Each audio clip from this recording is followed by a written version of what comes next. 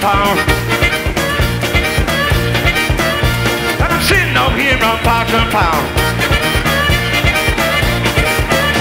And I'm sitting up here on Parchman Farm, and it ain't never did no man no harm.